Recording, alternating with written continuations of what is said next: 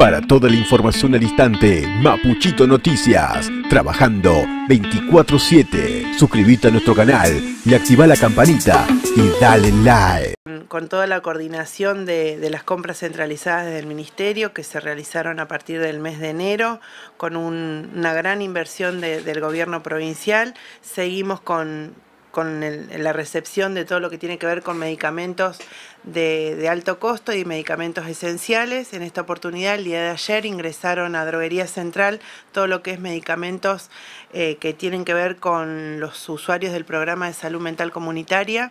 Eh, nosotros desdoblamos como parte de una estrategia para ver la posibilidad de que esto sea más rápido en el mecanismo de compra, entonces desdoblamos todo lo que es medicamentos esenciales en ampollas, medicamentos esenciales en comprimido, y a eso se le sumó desdoblar toda la parte de medicamentos de salud mental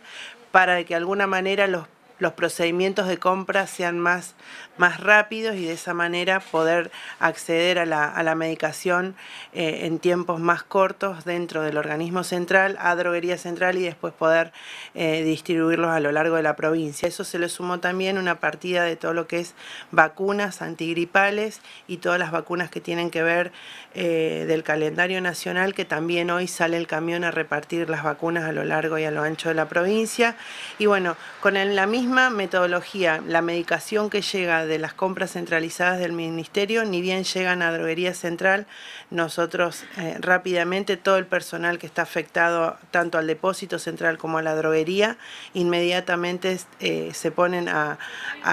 distribuir según los remitos y la complejidad de los hospitales la cantidad de medicamentos que reciben cada uno de los hospitales en la provincia. La realidad es que estamos tratando de que la continuidad de todo lo que se ha invertido en medicamentos esenciales, descartables, medicamentos de alto costo, soluciones parenterales, bueno, toda esa inversión eh, millonaria llegue a cada uno de los hospitales, pero que esto nos está llevando un tiempo y que la realidad que hasta que se llegue a estoquear los hospitales no va a ser inmediato, nos va a llevar eh, un par de meses hasta que podamos tener una normalidad para que todos los hospitales puedan atender eh, de manera nada, más, más dinámica y que cada, cada rionegrino, cada vecino tenga acceso a la medicación que se necesite y que los trabajadores de la salud también puedan trabajar de la, de la forma que, que se necesita trabajar en cada uno de los hospitales.